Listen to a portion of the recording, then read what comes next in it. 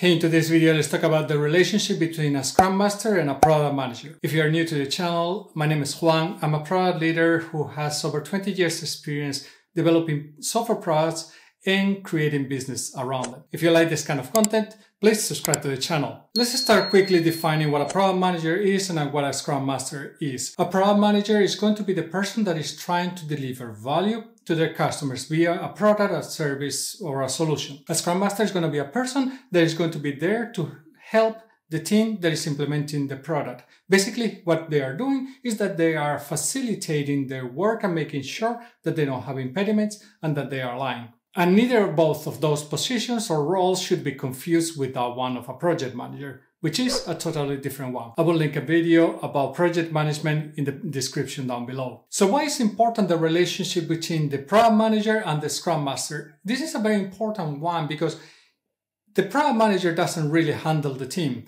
nor does realistically the scrum master handle the team, although in some cases they end up being more like a team lead, which is usually not their role, but in some cases it happens. And in some cases the product manager ends up being the Scrum Master, which again is not ideal. Ideally, those are two different roles because they have conflicting uh, interests. So it is key to have this relationship being a healthy one and a very collaborative one, because if these two roles work together properly, they can align very well on the targets and the goals of what the teams are doing. So for example, you can think about when are, you're doing sprint planning. Usually if you are a product manager, you're going to be concentrating more on what I want to do and what I want to build for the customers. Whereas maybe the scrum master is going to be more worried about how we are going to build it and how to enable the team to be able to do that. And I'm going to be more worry about the practices and the practical ways of working of the team. Scrum Masters, where they're going to be, are going to be people that are really good at agile practices. The name comes from Scrum, but I wouldn't just restrict to what they do to just Scrum, but any agile methodology. And in many cases, you can just extrapolate to other methodologies anyways. What they're going to be is that they're going to be great facilitators. They're going to be great at aligning the planning of the product manager together with that one that the team has to deliver, aligning those visions, helping those teams and those different uh, people or people that have different interests work together to make sure that they are targeting or that they are delivering and being able to execute on those plans. Yes, you can do this without a Scrum Master, but then when you go to big organizations or larger teams, you really need to have a Scrum Master or somebody that does that kind of role to help you facilitate the work. It's very easy to talk about self-organizing teams, but the reality is that many of the teams are not that great at self-organizing their work. And this doesn't mean that the Scrum Master is going to organize the work for them, but it's going to facilitate and create the environment where the team actually can start to take ownership of what they're doing.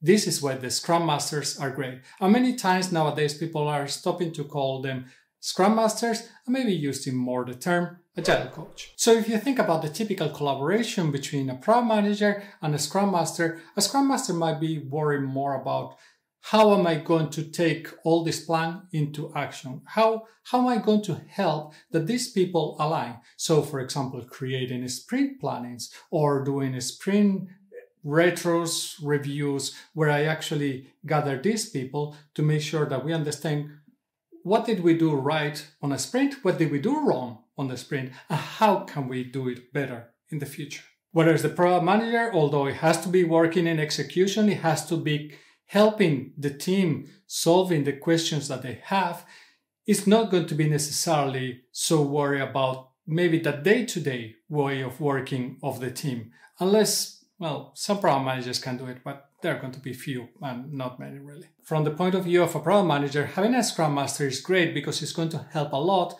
from the point of view of the execution of those plans that the product manager has done.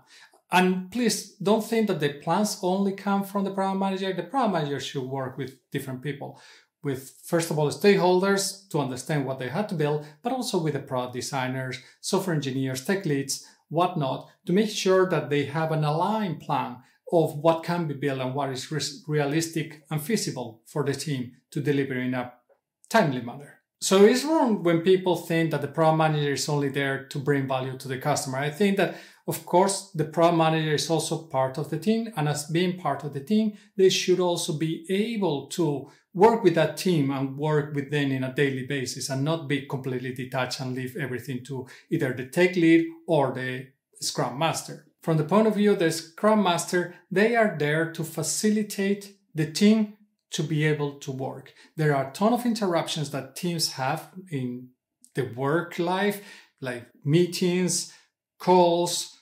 reports, filling timesheets, whatnot.